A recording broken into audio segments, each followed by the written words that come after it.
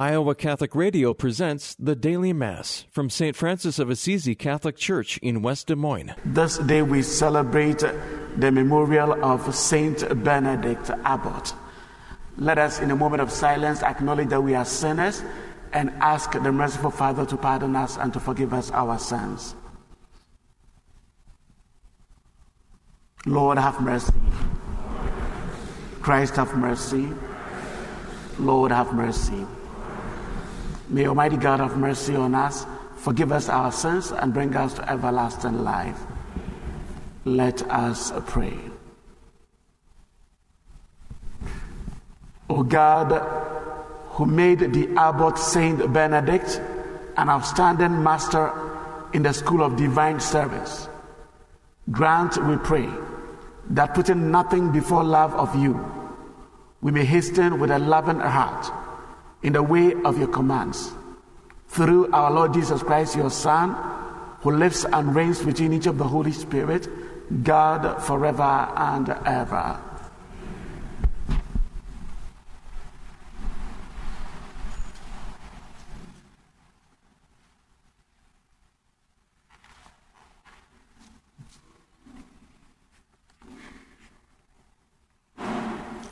A reading from the book of the prophet Isaiah.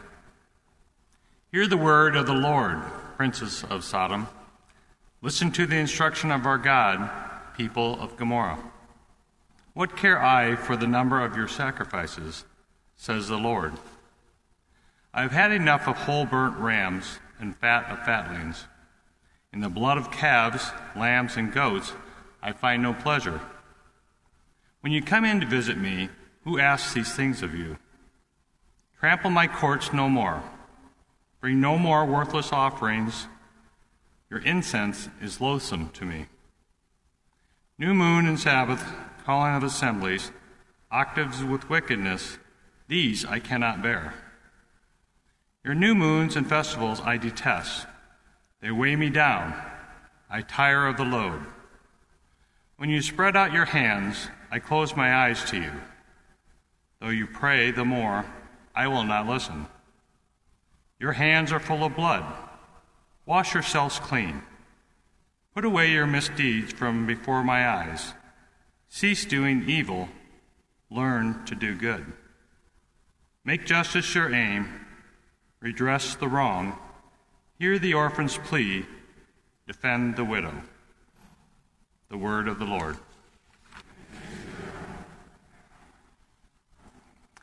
To the upright I will show the saving power of God.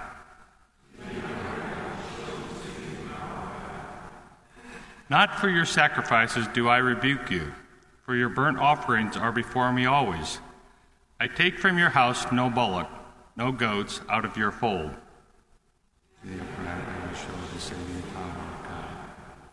Why do you recite my statutes and profess my covenant with your mouth? Though you hate discipline, and cast my words behind you.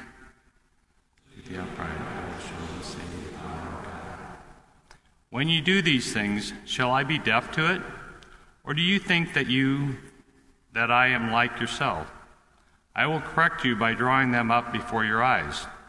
He that offers praise as a sacrifice glorifies me, and to him that gives the right away, I will show the salvation of God. The upright I will show.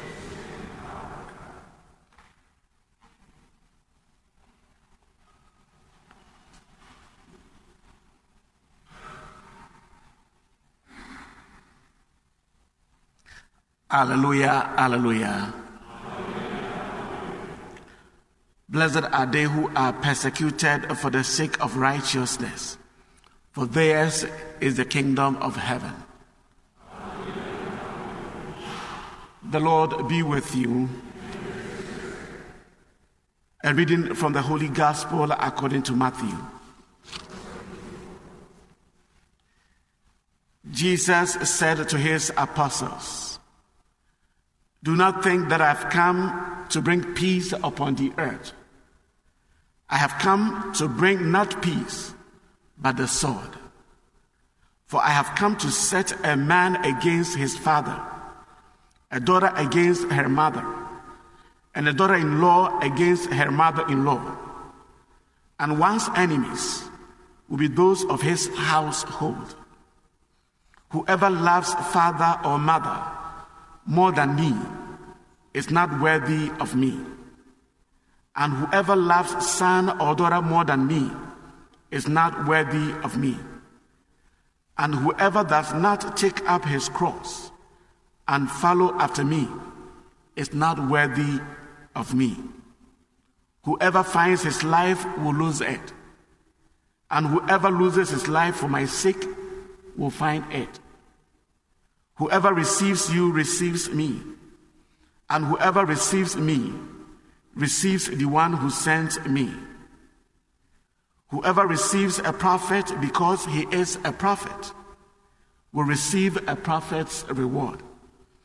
And whoever receives a righteous man because he is righteous will receive a righteous man's reward. And whoever gives only a cup of cold water to one of these little ones to drink because he is a disciple, Amen, I say to you he will surely not lose his reward. When Jesus finished giving these commands to his 12 disciples, he went, went away from that place to teach and to preach in their towns. The Gospel of the Lord.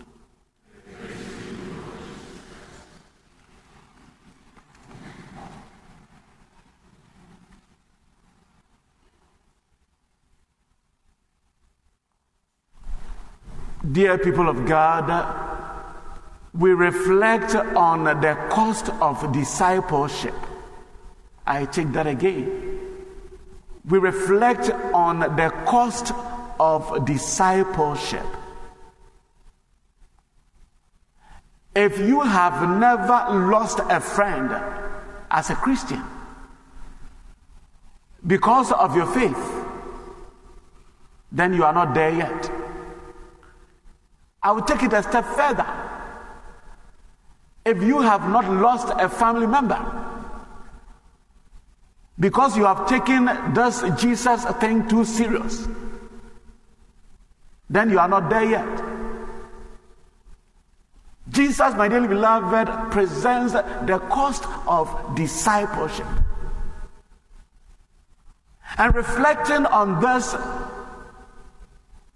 a priest a friend comes to mind. He was ordained in 2011, and his name is Ezekiel Sule Farouk. Ezekiel Sule Farouk. He was a Muslim. He was a Muslim who went to a Catholic school. And one way or the other had his vocation to become a priest went to his family, his father, who is a very staunch Muslim, and told him he wanted to become a Catholic priest. He was taken out of the Catholic school. His father said, No way. You cannot become a Catholic priest. That is haram. Haram means that is an abomination. How can a, a, a Muslim not just becoming a, a Christian, but also becoming a priest. That is an abomination. His father, my dearly beloved, will keep this boy in a room for days without food and without water. Was so hard on this boy. But this boy was determined that he wanted to become a priest, come what may. He was maltreated. He was beaten. There were days he would go to church and come back and he was punished severely by his own father because he wanted to become a priest. Then he completed high school. Went to his father and said, This is the time I want to go to the seminary. And the father said, Let's make a deal. In Ghana, we go to the seminary right after high school. Not like America where you go to college before you go. No. In Ghana, right after high school, if you want to become a priest, you go to the seminary and your training will last for nine years. Now it's up nine years or ten years after high school. When he told his dad, This is the time, I'm now going to the major seminary, the seminary, the father said, Let's make a deal. You go to the university first, you go to college first. After college, if you still want to become a priest, I will allow you. In his father's mind, he was thinking, at college, you will have all the freedom. And probably during the four year college life, a beautiful girl will attract him and get him out of the seminary, this seminary idea, this priesthood idea. Ezekiel said, Fine, I'll go to the university and come back. He enrolled in university for four years, finished college, graduated, got his certificate, came back home and said to his dad, Dad, I am done with part, with your part, with your part of the deal. Here is your certificate. Now I want to go and pursue my own. This boy started the seminary and in 2011 was ordained a Catholic priest. My dear beloved, that is the cost of discipleship. It is impossible, my dearly beloved, to declare your stand for Christ, your stand for the one who is the way, the truth, and the life, and not be persecuted, and not face persecution, and not face attack. It is impossible. And it is the reason he said to his own apostles, I have come not to bring peace but the sword. In Luke, he says, but division. A son, a man against his father, a daughter against her mother, a son in law against his uh, father in law, and a daughter in law against her mother in law. My dear beloved, it is impossible to be on the side of Jesus and not face attacks and not face persecution. If you have never faced any form of persecution, what it means is your Christian life is compromised. Don't be surprised to find your own Catholic persecuting you. Don't be surprised to find the person sitting on the same pew with you telling you you have taken this Jesus thing too serious. Yes, my dearly beloved, that is our calling.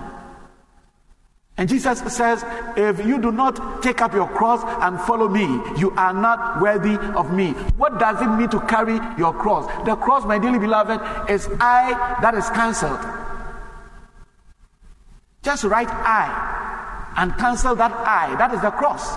Everything that has to do with I, your desires, your will, your appetites, your feelings, you cancel all of that and replace it with the will of God. That is the cross. And he says, carry that daily.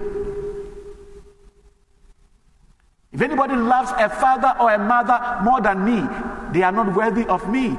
Breaking family ties in order to serve the Lord. And that is what Ezekiel did. And now he is a Catholic priest. The cost of discipleship. In our world today, everywhere we go, as Catholics, we face attacks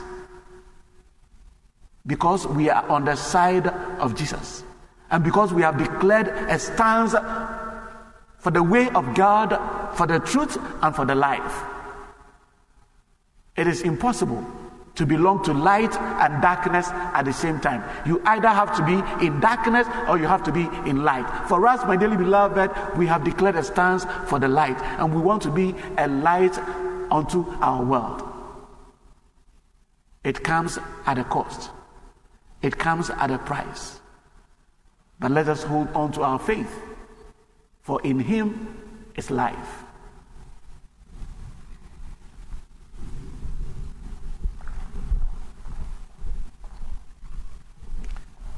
Shall we rise in prayer? For the Holy Father and all bishops and priests, may God continue to provide them the strength and courage to lead the faithful ever closer to Jesus. Let us pray to the Lord.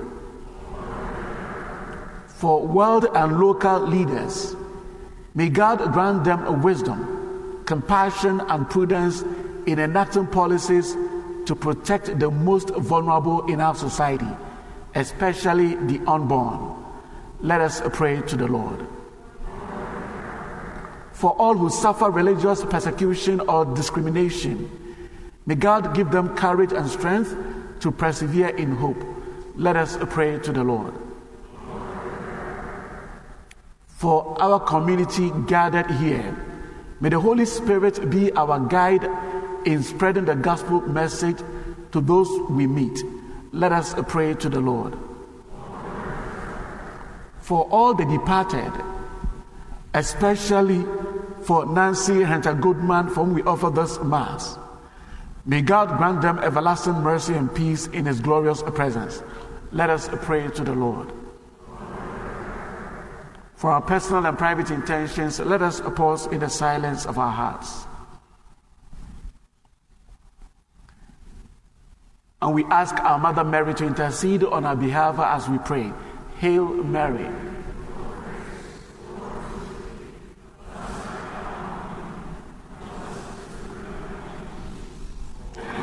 Mother of God, pray for us sinners, now and at the hour of our death. Amen. Eternal Father, all life and authority flow from you, and every good gift comes from you.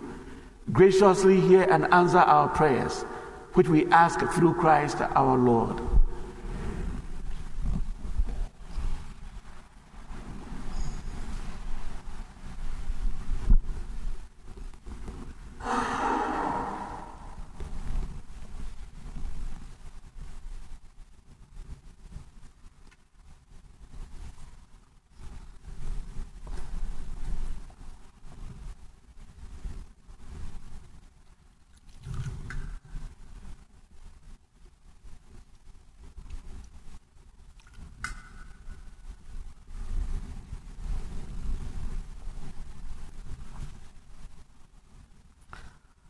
Blessed are you, Lord God of all creation, for through your goodness we have received the bread we offer you, fruit of the earth and work of human hands, to become for us the bread of life.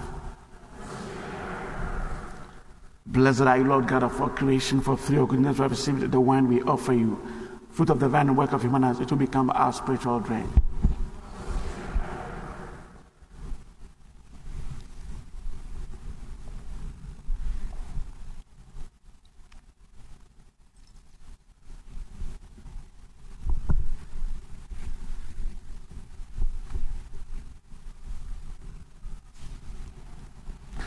Pray, brethren, that my sacrifice and yours may be acceptable to God, the Almighty Father.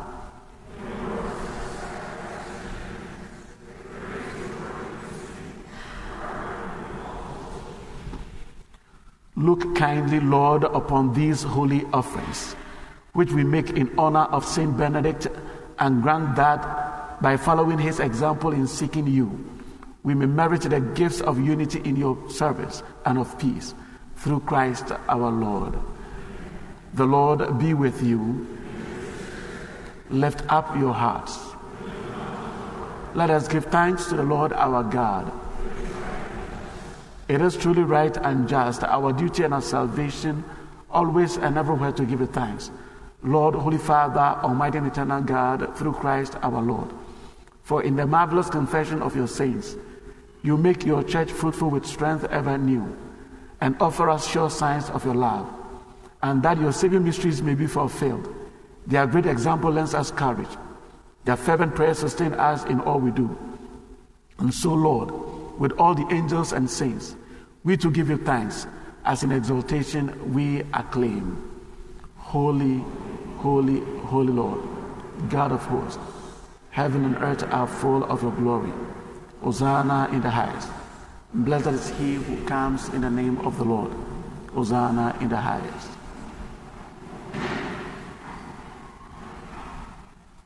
You are indeed holy, O Lord, the fount of all holiness. Make holy, therefore, these gifts, we pray, by sending down your Spirit upon them like the dew fall, so that they may become for us the body and blood of our Lord Jesus Christ.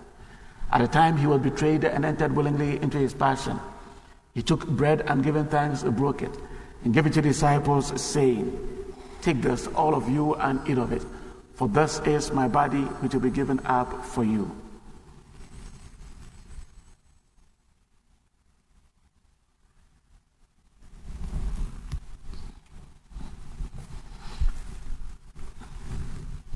In a similar way, when supper was ended, he took the chalice, and once more giving thanks, he gave it to the disciples, saying, Take this, all of you, and drink from it, for this is the chalice of my blood, the blood of the new and eternal covenant, which will be poured out for you and for many, for the forgiveness of sins. Do this in memory of me.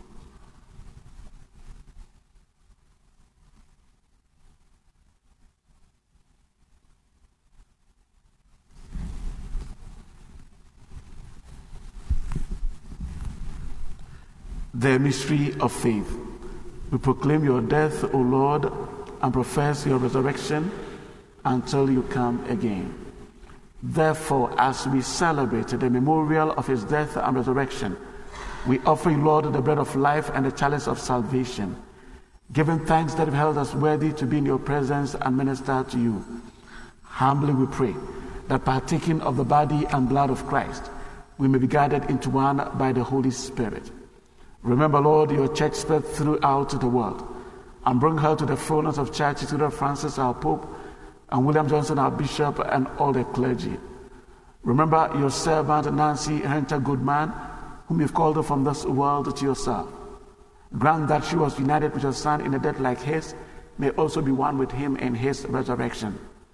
Remember also our brothers and sisters who have fallen asleep in the hope of the resurrection, and all who have died in your mercy. Welcome them into the light of your face. Have mercy on us all, we pray. That with the Blessed Virgin Mary, Mother of God, with Blessed Joseph, her spouse, with the blessed apostles, and all the saints who are pleased throughout the ages, we may merit to be co heirs to eternal life, and may praise and glorify you through your Son, Jesus Christ. Through him and with him and in him, O God, Almighty Father, in each of the Holy Spirit, all glory and honor is yours forever and ever.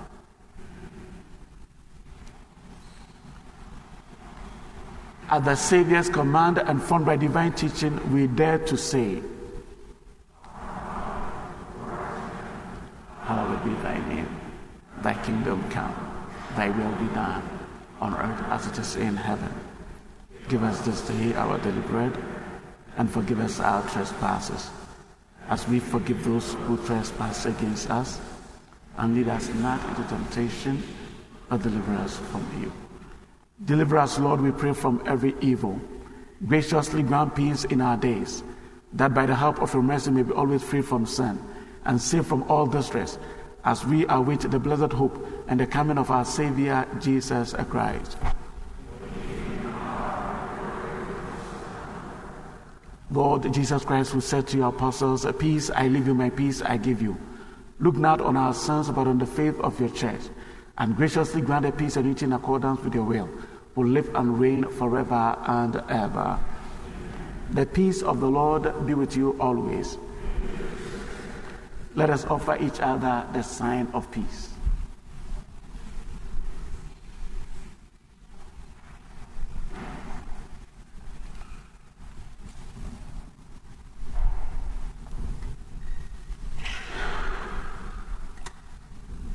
Lamb of God.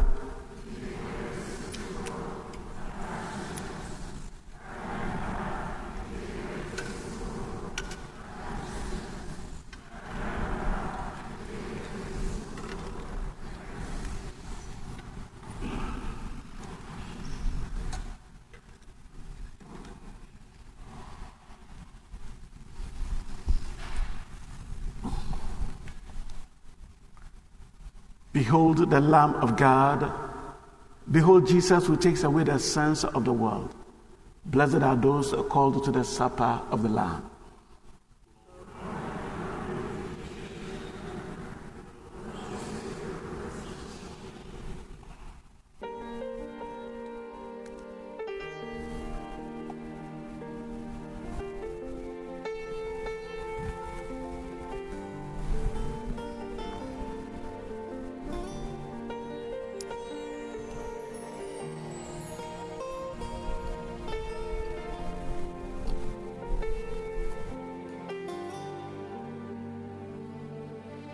My Jesus, I believe that you are present in the most blessed sacrament. I love you above all things, and I desire to receive you into my soul. Since I cannot now receive you sacramentally, come at least spiritually into my heart. I embrace you as if you were already there, and unite myself wholly to you. Never permit me to be separated from you.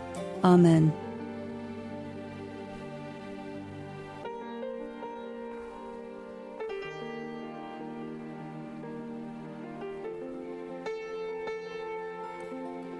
Let us pray.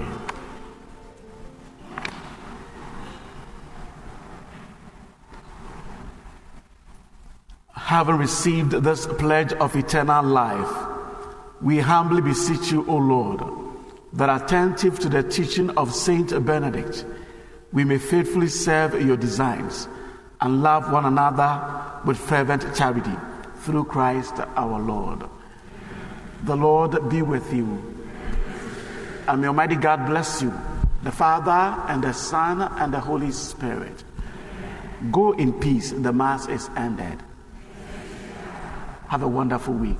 You've been listening to the Daily Mass from St. Francis of Assisi Catholic Church in West Des Moines on the Iowa Catholic Radio Network.